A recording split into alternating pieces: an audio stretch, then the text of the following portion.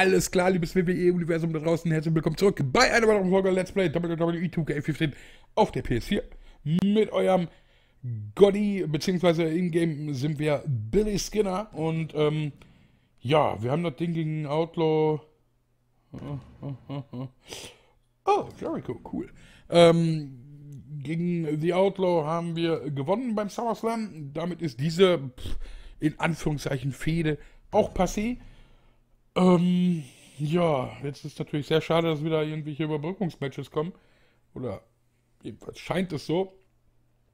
Chris Jericho, ähm, wenigstens das ist ein bisschen halbwegs spannend, äh, ist jemand, den wir gar nicht leiden können. Der Kollege hat uns wirklich schon des Öfteren echt Nerven gekostet. Und Titel gekostet. Darf man nicht vergessen. Auch äh, den einen oder anderen Titel haben wir gegen Chris Y2J verloren. Schöner Double X Hander Blow ähm, ins Leere. So, ja, es klappt ja Bombe.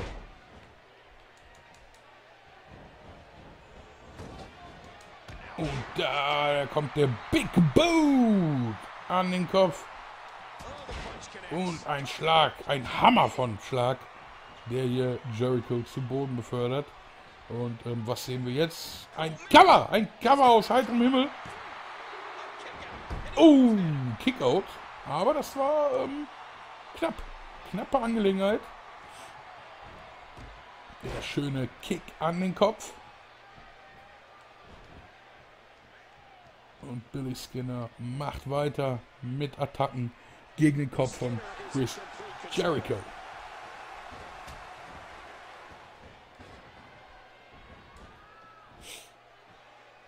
Eigentlich sollte er im Stand jetzt kein Problem mehr sein, der gute Chris. Die Zeiten sind echt vorbei. Ja, hier kontert er mit dem DDT. Ach, die Tritte gegen den Rücken. Ich erinnere mich. Ja. Ah, war ich zu langsam, um rauszurollen. Aber jetzt haben wir gleich. Pass auf. Zack. Da haben wir das Luda. Und hoch geht's, mein Freund. Was ist eigentlich, wenn ich jetzt hier die Kreistaste drücke? Was passiert dann?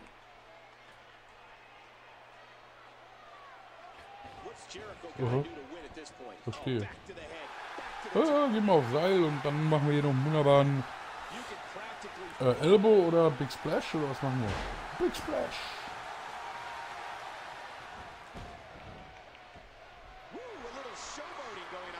Oh oh. Oh oh. Billy Skinner wird doch nicht. Doch, er wird. Und er tut und er hat. Und schau mal, wer der rot am Kopf ist. Jericho hat jetzt ernsthafte Probleme. Der Spear sitzt auch und Jericho liegt am Boden. Ist es das schon? Ist das schon das Ende dieses Matches? Ich versuche gerade künstlich irgendwas an Spannung reinzubringen. Ihr merkt es aber nicht, weil ihr so gebannt seid von diesen harten Aktionen im Ring. Und das ist das Ende. Aus, aus, aus, aus, aus, aus. So. War gut, oder? Ja, voll der Hammer. So, der Spear, da habt ihr noch gesehen. Zumindest wie er Anlauf genommen hat, der gute Blitzkinner. Aber sind wir doch mal ehrlich, hier keiner will hier die, die, die Zwischenmatches, hier die Schnickschnack-Matches sehen. Wir wollen Fäden, wir wollen Story, wir wollen Shortcuts, wir wollen geprügelt werden, wir wollen selber austeilen und das alles am besten wirklich mit irgendeiner Hintergrundgeschichte. Wir wollen die Authority, wir wollen The Shield, die äh, Wyatt Family, hast du nicht gesehen. Wir wollen gegen The Beast kämpfen um den Titel oder um überhaupt irgendeinen Scheißtitel. Gut, CM Punk hat jetzt den Titel. Dann wollen wir gegen CM Punk kämpfen. Ist doch scheißegal. Nein, Batista. Ja, dann wollen wir gegen Batista kämpfen. In einem Last Man Standing Match. Aha. Toll, Batista ist der, den wir in der letzten Folge mal eben umgehauen haben. Ähm, der neueste Stand ist folgender. Wir haben diese Woche noch nichts für dich geplant. Trainiere einfach, weiter hart in diesen Matches. Dann gibt dir die Authority. Ja. Voll gut. Die Authority, genau. Also da, da, das macht mich noch innerlich so fertig. Wir haben uns auf die Seite der Autorität geschlagen. Wir haben Randy Orton abgelöst und ähm, danach kam nichts mehr, ne? Danach kam nichts mehr. Ich dachte, wir wären jetzt so richtig schön äh, gefördert und gehypt hier von. Was war das denn? Ja. von Triple H und Stephanie McMahon und ja, nichts ist. Und das ist wirklich äh, schade. Hm. Ah. Genau. Hau ihn. Jawohl. Also da fehlt auch noch irgendwie einiges. Ich bin mir auch nicht sicher, ob, ob, ob das alles hier so mit rechten Dingen zugeht. Wobei, lustigerweise muss man ja sagen, der, der Zero, mit dem habe ich schon mal äh, auch über die Karriere ein bisschen gequatscht und so, der meinte irgendwie, das, was hier bei uns in der Karriere passiert, ähm, sei noch ziemlich spannend, glaube ich. Und vor allem meinte er irgendwie, bei ihm passiert ja gar nichts. Aber hier ist auch nicht mehr als gar nichts, oder? Also ich würde jetzt nicht sagen, hier, ole ole, voll geil.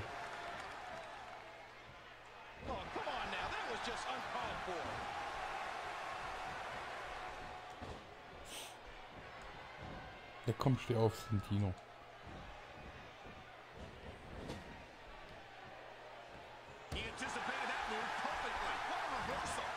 Da kontert der Lummer, ey. Unglaublich.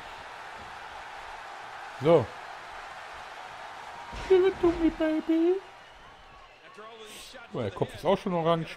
Also viele Attacken hier.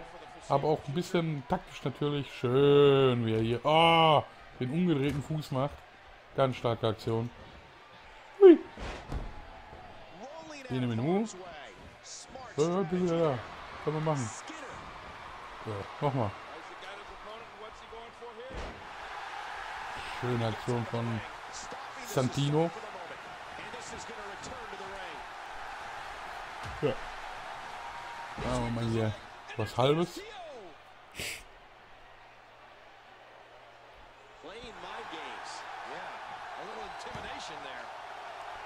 Um dann was Gutes vorzubereiten. Palim, Palim. Wir haben ja keine Zeit hier. Ich kann jetzt hier nicht rumspielen hier. Man muss hier fluppen, weißt du? Zack, passt. Arschvoll, toll. So, jetzt ein kluges Cover, aber wahrscheinlich schiebt er ihn noch Richtung Seil. Nee, geht. So, alles tutti. Danke, Mutti. Danke für nix. Pinfall und so weiter. Ich brauche was zu trinken, mein Hals ist kratzig.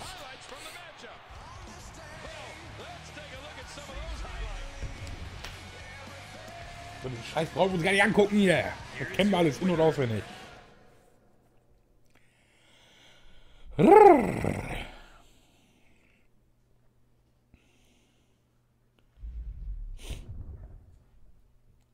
I hear voices in my head. So, und? Wir sagen dir Bescheid. Ja. Mach das. Gewinne ich halt noch 500 Matches bis dato. Ist ja kein Problem.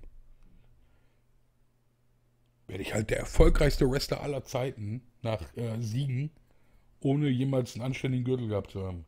CM Punk dagegen holt sich äh, seinen Gürtel gegen Batista in äh, Hell in a Cell zurück. Schön, da freue ich mich. Ach, wir haben heute nichts. Ja, guck. Kofi Kingston. Kofi mag ich gar nicht. Kofi hat uns auch schon äh, über, überdurchschnittlich oft äh, geärgert. Der böse Kofi. Also die Leute, die schon äh, die Folgen oder alle Folgen gesehen haben, oder die meisten, die werden auch schon mal Kofi gesehen haben. Wie wir uns über ihn geärgert haben. Äh. Aber nicht heute. Heute werden wir den äh, guten Kofi hier an seinem Bart durch den Ring ziehen. Bin ich ziemlich zuversichtlich. Den Jamaikaner. Ja, die gute alte bearbeitete den Kopftaktik.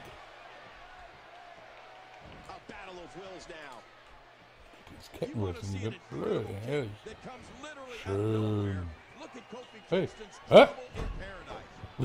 Ich habe die Stelle gefunden, danach habe ich eigentlich gar nichts mehr gemacht. Nee, nee, nee, nee, nee, nee, nee, mein Freund. Das äh, ist aber nicht nett gewesen hier. So. Ene Mene und das Knie an den Kopf. Bumm. Ene Mene und im Boot. Nächste Kopfaktion. Ach, läuft. Ja, der Bart hat das meiste abgefangen bei der Aktion. Schläge kann er kontern hier, der kleine Lümmel. Nee, nee, nee, nee, nee, nee. Boing. Mensch, Kofi. Nee, noch nicht. Warte mal. So passt es. So sieht das doch sehr hübsch aus.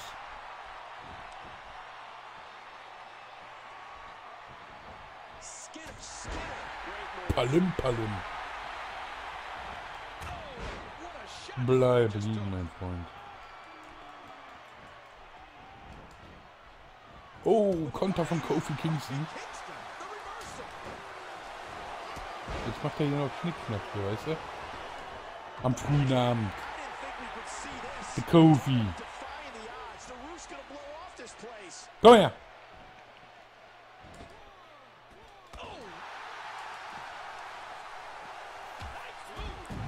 ans Genick. Oh yeah. Hui. High Flying Action. Komm, steh auf. Komm, Skinny.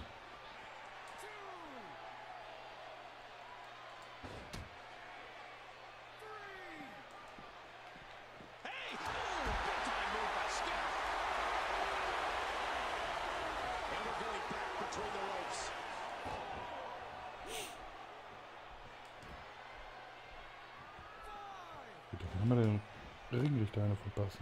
Habe ich nicht. Auszählen lassen ist auch gehen. Aber er kann Bock drauf. Ja komm, geh auf.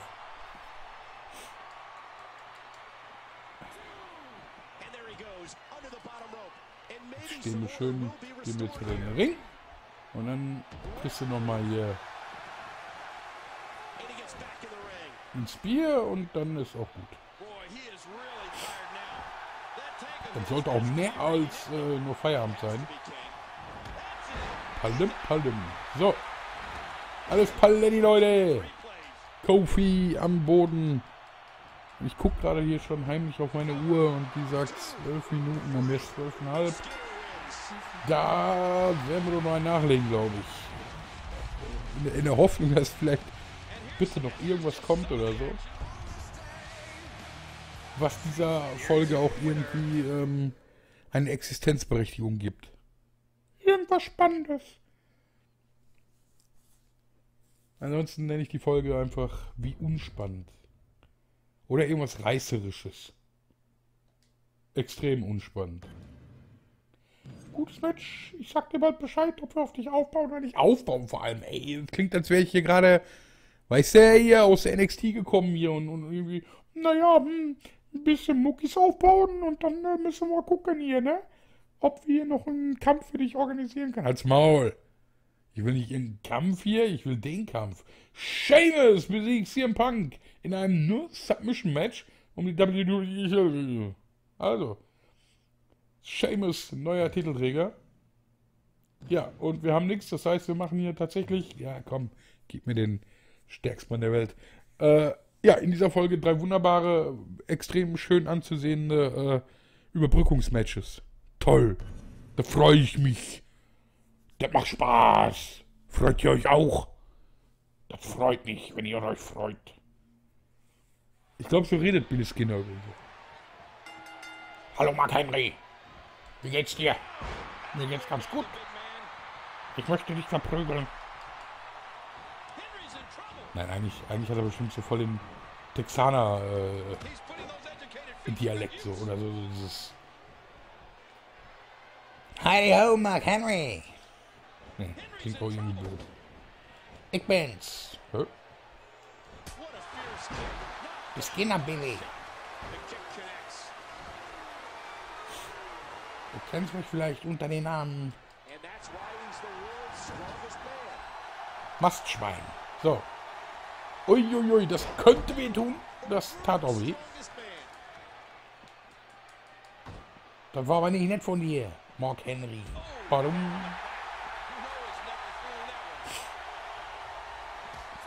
Jetzt muss ich dir wehtun. weil du das getan hast. Mich blamierst hier vor meinen Zuschauern. Henry. Findest du das gut oder was? Bleib liegen. Tu dir selber einen Gefallen und bleib liegen. Was habe ich gesagt? Bei wie viel ist der Referee eigentlich schon? Ich hab gesagt, bleib liegen. Hui!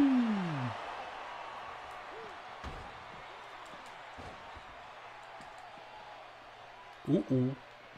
Das wollte ich mit dir machen, Junge.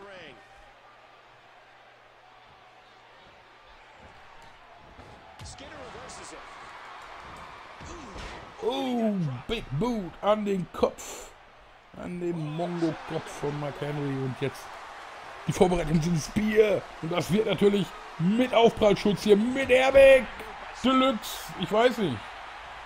Also gekontert er mich nicht. Ich glaube, ich habe keine Ahnung, was das ist wieder war.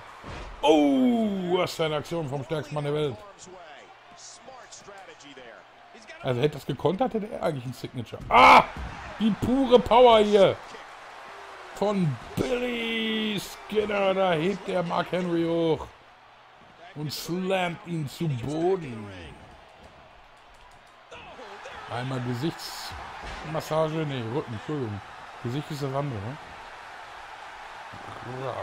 Eckenfinisher. Jetzt bleib weg, Referee. Und da kommt der angestürmt und da sitzt der Spear. Der stärkste Mann der Welt liegt auf dem Boden auf allen Vieren wie ein Käfer und kann sich nicht mehr rühren. Billy Skinner muss ihn jetzt nur noch hier, nur noch, das ist ja schon hier eine Arbeit hier, das, das Moped in die Ringmitte irgendwie zu befördern. So, das Cover. Eins, zwei, Kick out, Kick out. Mark Henry lebt noch. Ja, er lebt noch.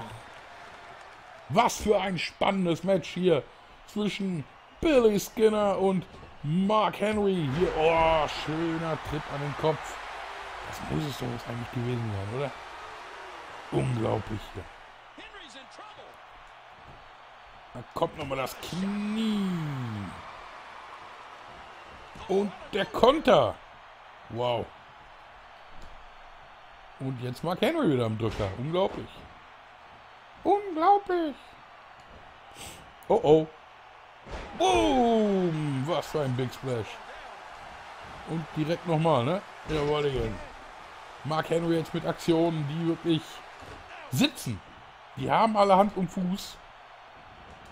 Boah!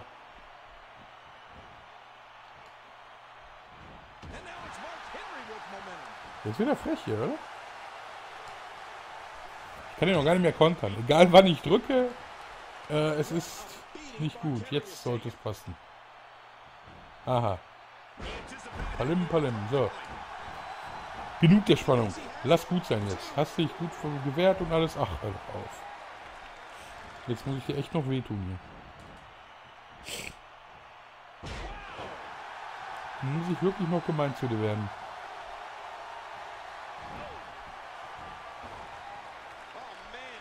Oh, yes. Steh auf, Dicker! Steh auf! Wen meinst du? Dich! Okay. So. War gut? Habt ihr genossen? Das äh, macht die Folge schon zu einem Highlight. Nicht. So. Komm, jetzt packen wir nur mal einen Swampy hier. Hab ich Bock zu. Den Spear hat er ja schon kassiert.